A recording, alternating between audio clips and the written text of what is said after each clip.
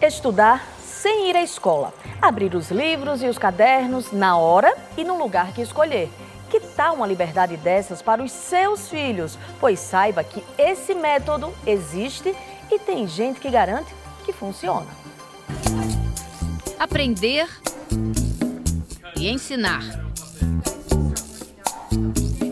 Mais de 200 anos, a sala de aula é considerada essencial no processo de aprendizagem. E os pais acompanham orgulhosos o desenvolvimento da garotada. Nisso, a americana Miranda Norris é igualzinha a qualquer mãe. A filha Durga ensaia uma vez por semana, mas não é na escola. Ela participa do coral da Universidade de Nova York, uma atividade gratuita para crianças e adolescentes. Cantar no coral faz parte da educação nada tradicional que Miranda escolheu para a filha. Estudar aquelas matérias que toda criança tem que aprender aos 10, 11 anos de idade, a Durga segue um ritmo próprio, na verdade, um tom completamente diferente. A gente pode dizer que a escola dessa nova iorquina é enorme, praticamente sem limites.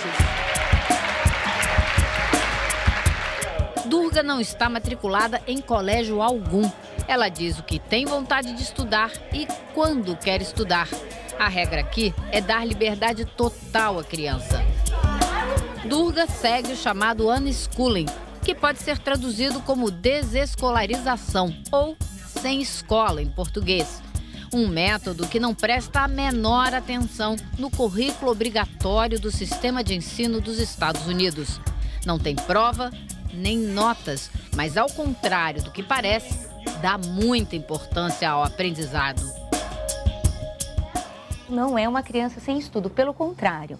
Tem crianças de unschooling que estudam muito mais do que uma, uma criança que está na escola. Não confunda unschooling com homeschooling, a educação tradicional em casa. Nesse segundo sistema, o aluno não tem liberdade, ele precisa seguir o currículo normal, só que faz tudo em casa. Para entender como o unschooling funciona, aqui vai um exemplo.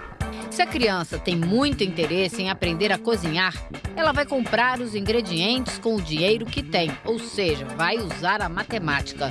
Ao combinar os produtos, vai usar a química. As receitas podem ser veículos de uma viagem pela história e a geografia. Entender o que está escrito no livro exige interpretação de texto, gramática, domínio da linguagem. No fim das contas, ela aprende muito sem nem perceber tem uma parte da educação que é esquecida. Economia doméstica, artes, teatro, outras coisas. Ela é colocada diante de um leque muito maior. Então ela vai estudar muito a partir das aptidões dela. Com espadas de espuma nas mãos, as crianças exploram o Central Park, o espaço verde mais famoso de Nova York. O jogo tem regras de combate. Miranda explica que é um pouco de teatro, um pouco de exercício. E acontece uma vez por semana durante o outono e a primavera. Durga só tem uma reclamação sobre essa vida de sem escola. Ela precisa se deslocar de um lugar para o outro para participar de várias atividades. Isso é um pouco cansativo. Um dia, ela está no parque. No dia seguinte, no teatro, o grupo se espalha no chão da sala para estudar o texto da peça. Este é um centro só para quem não vai à escola. Miranda faz uma permuta, dá aula de inglês para todos os alunos em troca do curso de teatro para a filha. Trocar a aula de inglês por aula de teatro é uma das maneiras de fazer com que o unschooling nos Estados Unidos seja mais barato. Afinal, se a criança não vai à escola, a família acaba gastando para complementar a educação por conta própria. Só em Nova York, 10 mil famílias seguem o unschooling. Para se ter uma ideia, no Brasil inteiro, são apenas 2 mil famílias. Aqui no Brasil, o unschooling tem problemas para se desenvolver. Como pouca gente conhece, as trocas e as permutas acontecem bem pouco. O método fica caro. Além disso, a legislação não permite que a criança fique fora da escola. Os pais que deixarem isso acontecer podem responder pelo crime de abandono intelectual, com pena de detenção ou multa. Até por isso, essa mãe brasileira não quer mostrar o rosto. O unschooling começou na família dela quando a filha pediu para sair da escola, seis anos atrás. A mulher tirou a criança do colégio e decidiu promover um método alternativo de educação. No começo, né, era a aula era sobre a casa.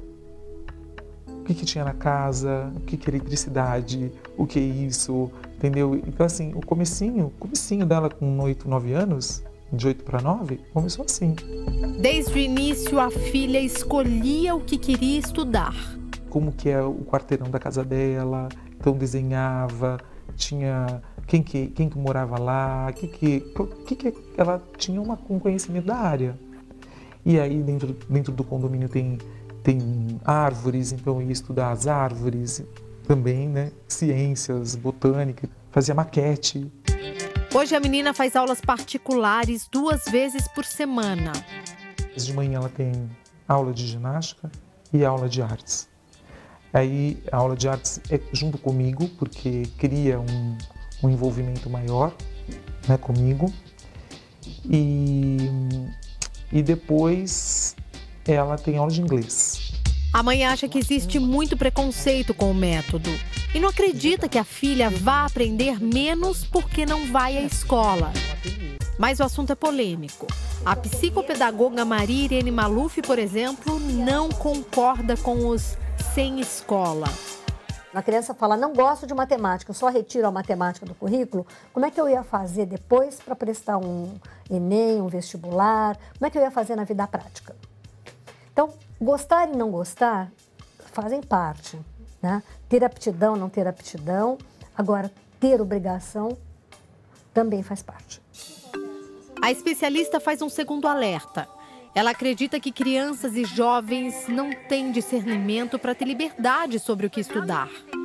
Ele não pode responder por coisas que vão afetar o futuro dele.